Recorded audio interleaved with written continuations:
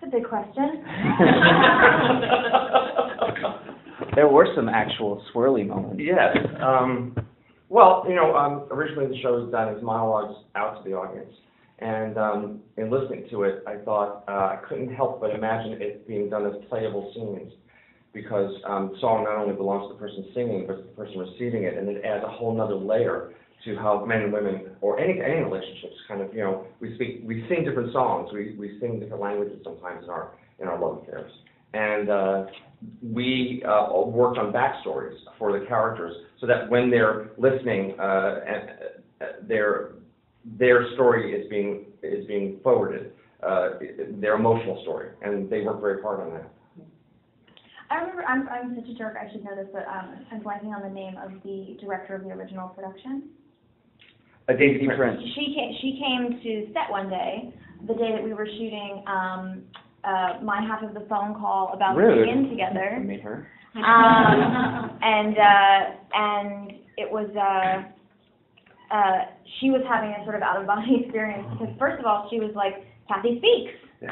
Um, Mhm. you know, that was new for her, and also she was like, "Sh- I didn't know that Kathy would be so artsy, you know, and I forget sometimes that we weren't working from material that dictated all of these things, because my first experience was reading Richard's screenplay. Um, so, uh, I, I, it's gonna be interesting to see if people, um, you know, will add their own versions of, you know, because in so many ways they are, um, uh, conducive to being um, added to and um, uh, interpreted in very unique ways. And like this isn't, um, you know, for every high school, college, professional production of this, this isn't the definitive version of Kathy and Jamie. And Mm. you know, it was, I took it for granted that we could put ourselves um, and our versions of Kathy and Jamie in the film. Oh, okay. Um, my question for Anna is, uh, this is like, uh, I think it's, uh, um, the your character is having really hard time to do auditions, have auditions. How about yourself as an actress? Uh, what was the worst audition experience for you? And how did you overcome this kind of reject? Um, so many terrible. I mean, too many to mention. I remember, I remember once for this movie that was like mediocre at best. This screenplay that, to my knowledge, has never been produced. Um, but you know, you know, you audition for things anyway because you know you certainly can't turn up your nose at any work. Um, and there was uh, all these girls and all these boys for you know the sort of two um, leads of this kind of coming of age tale, and the director wanted us to like dance together, but they they brought all of us into a room. How horrifying! They brought all of us into a room, and we had to like dance with each other Oh, in front of everyone else, and then we had to perform the scenes in front of everyone else. That's ridiculous. It was so, oh my God, I, like, I still think about it to this day, oh. like, it's the, it's the memory that pops up when I'm about to fall asleep, and then I'm just like up until two thirty in the morning, like, oh my God, cold sweat. So, you know, certainly the lyric, two hundred girls in, you know, dresses that look just like this are, um, I, you know, I recognize myself very much in that song.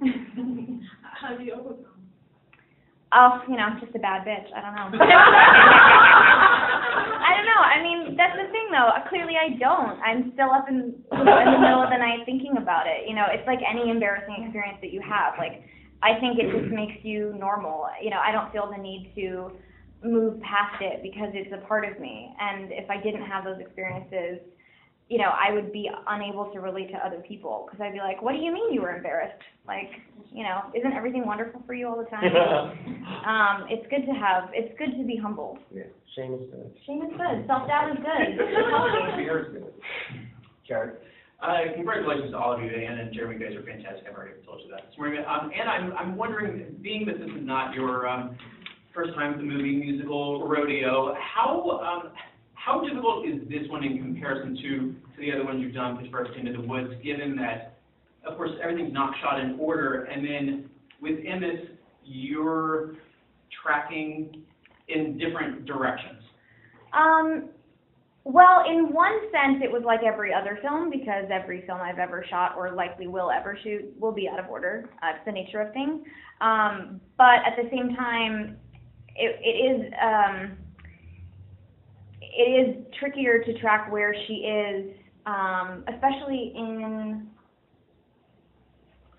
Oh my God! Um, and I'm a part of that, where we're like moving Well, I, yeah, I was doing something that no one else understood and ultimately probably was not a good idea, but I, I, I was dedicated to having the time go, within the song, go backwards, which made sense to me, but it was difficult to kind of, because then she also has the flashback. But it also just sort of meant that it was like everybody was just really focused on it. You know, it it sort of um it meant that like everybody from Richard to the boom operator was like, no, I'm pretty sure that at this point Kathy's upset. Yeah. it was a team effort. Angela?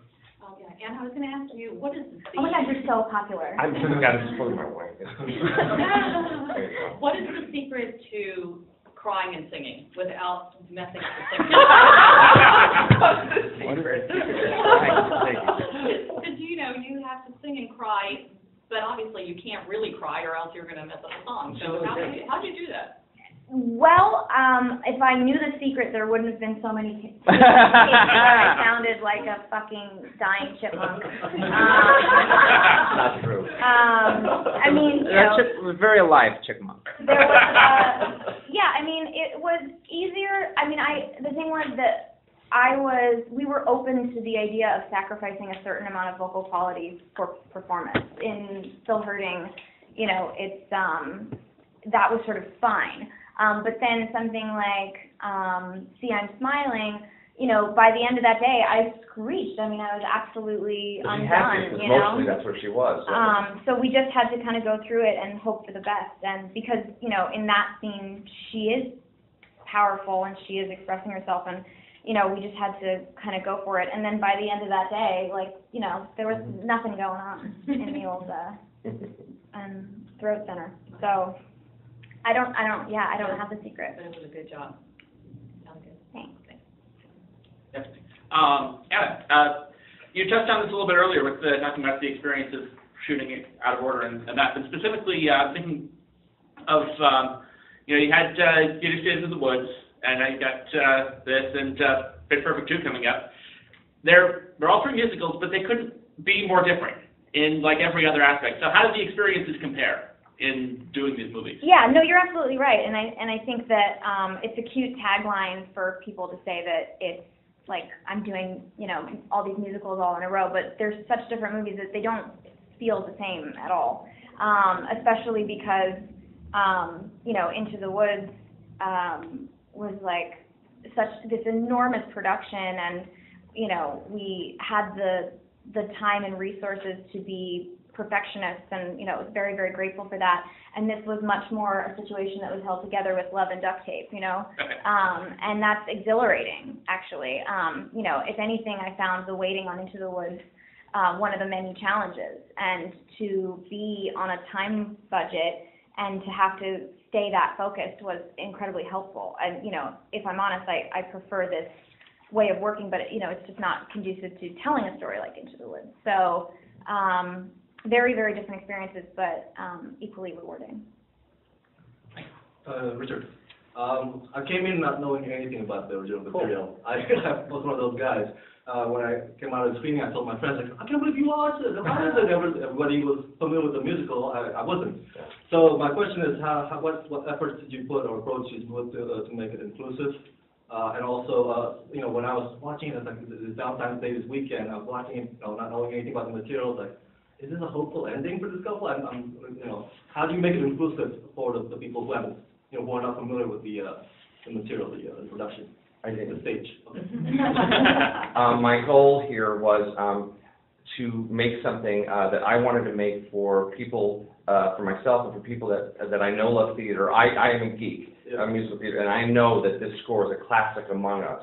And nowadays, uh, what I realize, uh, with technology, uh, changing the business so, so much, uh, from when I started, uh, there are now opportunities where I don't have to appeal to a mass audience anymore. I can make something that's different and uh, risky and take an e- experiment and do it the way that I want to do it. Um, uh, because, you know, uh, if I make it for the proper budget, uh, and we did, we made it for, for Monopoly money, and, and that means, and I know the audience is out there for it. So that gave me the freedom to not, it's why I didn't want to do it eh, with any Hollywood involvement. I didn't want people telling me to impose a screenplay on it, to make it more accessible to the general public. I'd like the general public to step up and go, this is something, this is something different. And, um, people that will like it will like it, people who don't get it will not get it at all. And, uh, that's fine with me. Thank you. Oh, sorry, I, the two of you guys, you, both of you played the vocals, and I was pleasantly surprised of of every single song, and so. By me, not him, I get it. Everybody knows, everybody knows. If both of you could tell us what was your favorite song to sing, and then also the most challenging?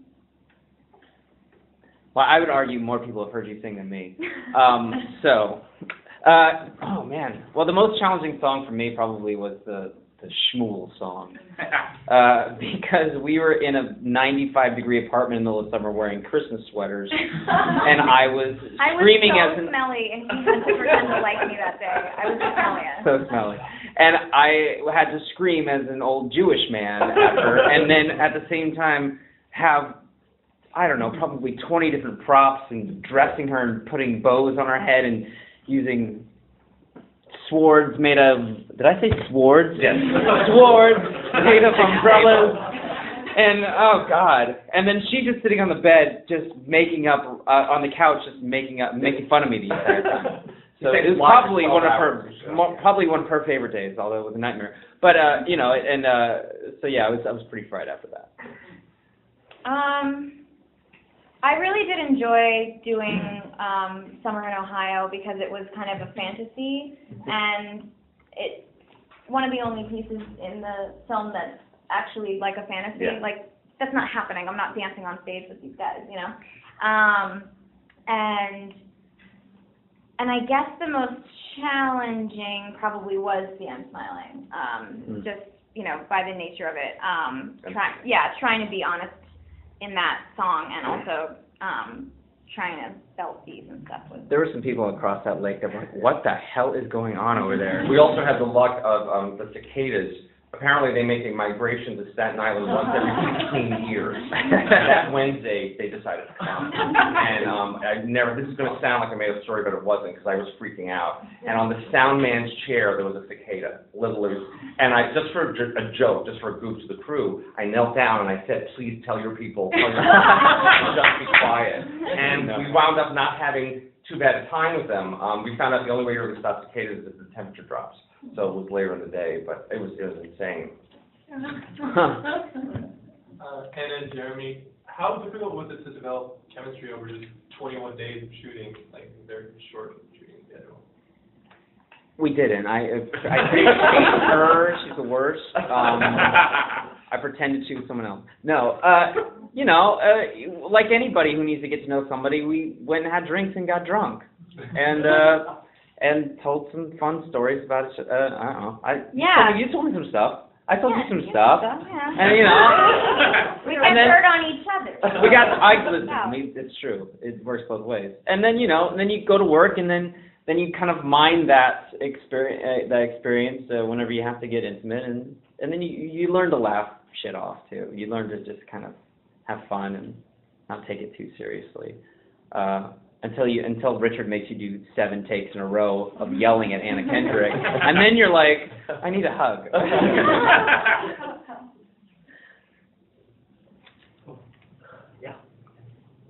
Hi, Anna. Um, terrific performance. Thank you. As always. Uh, I was curious because I read that you had, you sang the song Still Hurting, uh, seventeen times.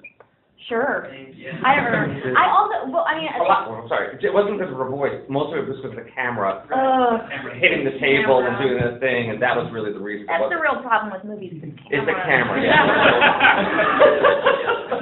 We It wasn't just find because a of- way to make movies Our without cameras, cameras. it would really cool. I'm sorry. And I was just curious, um, how do you keep the song fresh for you, um, having, when you have to sing it that many times?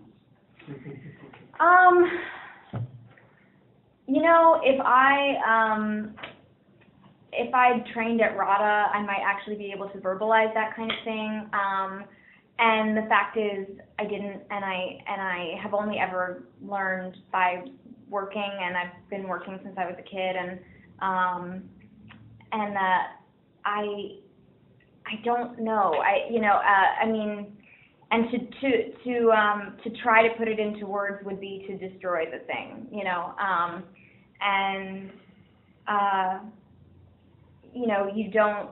I guess you try to find a balance between going um, into the material and going to a personal place because you never want to tip it too much in in one direction. So, um, yeah, I, uh, I, I, you know, I feel like I, I drew a lot of energy from the support of the crew, who were unbelievably compassionate and understanding, and nothing gave me greater um, inspiration than seeing, you know, the um, 40-year-old dolly operator in like his classic Hawaiian T-shirt, like listening to, you know, I could feel him like, you know, he had uh, the same earpiece in his ear that I had, and you know, watching his face as he counted, and I could feel his body like counting, and it's like all these people are honoring a thing that you're trying to do, and that gives you an unbelievable reserve of energy. Brian? Um, so both of your characters, at the end of the day, make some pretty big mistakes. I just wondered if you found yourself siding with either of them by the end of the movie.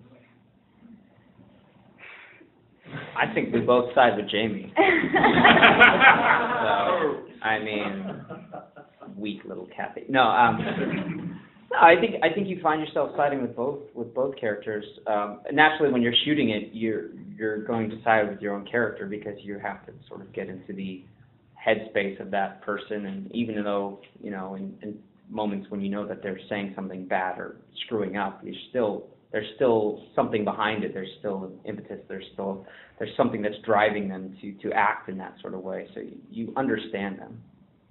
Uh, The goal was to make it not. Um, my approach was everybody has their reasons. And um, uh, love, uh, this poor thing, put so much pressure on it, it has to be forever, it has to look like this, it has to feel like this.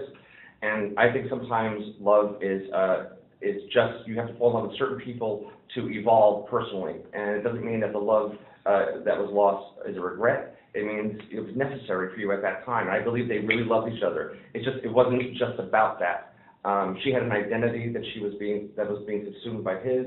He was, you know, in, a new place in his life. Um, they loved each other and it didn't work out. And how often does that happen to all of us? And everybody has their reasons. Thank you. Um, so Jason Robert Brown clearly wrote an amazing score. Um, what was, for all three of you, what was your relationship with his music coming in? Have you ever in any of his musicals or directed or anything like that? Um. Um, I saw Parade when I was 13, and it uh, was and remains my favorite musical. Um, but miraculously, I, I think you know one of those kind of weird meant to be things. I didn't know this music, um, uh, which I think is fantastic because I didn't have the burden of trying to unlearn someone else's performance, which you know, if I were to do Parade, would be a, massive undertaking. So it that worked out really beautifully for me to to like know his style and love his style, but not know this material. it's funny. I'm having literally the opposite experience at this very moment. Yeah. because I went into this knowing every single word and knowing the original performer's performance and uh, doing and and having to unlearn every nuance and every sort of vocally vocally the thing that he kind of added to it and trying to make it my own and uh and actually I'm I'm doing parade right now and I'd never heard heard it before so I'm I'm creating it for the first time uh so yeah I just loved it. I, I, I mean, I, I, I, I didn't see the original, and Todd Graff was one of my best friends, and, and we go to theater live and gave me the CD, because everybody was buzzing about it after it opened and closed. Um, um, because it opened downtown right after 9/11, so it didn't get, it got great reviews, but it didn't get a lot, a lot of people weren't going downtown at that time. So, um, I just listened to the score over and over, and I was obsessed. You know, when you get a CD, you just can't stop listening to it. That was me with this. Time for two more, I just want to ask you, you know, this is coming out right before Valentine's Day, day before, I think, right? And, uh, to me, it almost seems like an un-Valentine's Day or a great movie to take your significant other to if you're gonna break up soon. I just want, and, but, I mean, I do love all the love and the romance in it, but, you know, ultimately it's about how, like you said, relationships, you know, Don't always work just don't always work out. Right. Um, I don't know if you had anything to do with the timing of release, but, you know, how do you see this as a date movie or girlfriend's movie or guy's movie? I don't, I know, I, I, I, um, well, my, my thing is this weekend, you know, you can have the real hard sex with Fifty Shades, and then you can come and see us and see, you know, what happens after the hard sex. Uh, you have to actually deal with reality and real I'm people. pretty sure our, our feelings. sex in the movie was very PG-13. I don't think so. The way she shoves you away at the end, that's why I think that's. Oh, my. Um, Wow. No, you had, you guys had tough, you had hard, but, but I mean, you could, you have both, you know what I mean? Um, but no, is it, you know, release dates and all that kind of thing, you know, but, uh, uh, um, I know that when people come to see this, uh, single people and, and I, I find, and, and people in relationships, that the movie is reflective of where you are at that time. I showed it to a young, uh, friend of mine who hated his character, and I just, I, I felt, I understand why until I realized she just broke up with her boyfriend. So you project, uh, whatever you're feeling onto it, and in that way, uh, if you're thinking about love on Valentine's weekend and relationships, yeah, it's, it's a great movie to sort of purge. Yeah, it's, it's, well, it's also the movie to go, oh, I'm so glad our relationship is so healthy. Exactly. Oh, yeah. Or, Or or to walk you out do that. and be like- See what he does? That's Yeah, yeah. what you do. Yeah. Yeah, I've never been able to articulate it until now. Now. That is- wa- We're gonna watch that again. Yeah. You know, you see like all these love, If love you're gonna break up, this movie will speed it along. But Yes, if- exactly. But if you're meant to If be. you can survive this movie. Exactly. But then you know, love love has so many different facets to it, though, and and even the typical uh, Valentine's Day movie is going to have ups and downs. Generally ends happy. Ours just doesn't. And but that doesn't mean that there isn't a massive amount of love. I would argue that our movie has a happier ending than Fifty Shades. I, How does that I haven't read, end? I haven't read. I have read that book. It Yeah. ends with her like, it, I mean. Okay. Why? How does it end? Sorry. I don't know if you guys. How does it end? They've all seen it. Uh, He thanks her too hard and she leaves him. This is true. That is fact. Right, one last question. Can you talk a little bit about your Oscar performance coming up and start rehearsing? Are you nervous? I uh, have not started rehearsing. Um, I couldn't divulge secrets if I tried because it was described to me very vaguely, and you know, and so I they were like, "Don't tell anyone," and I was like, "I don't even know what you're describing." So sounds great. Can't wait.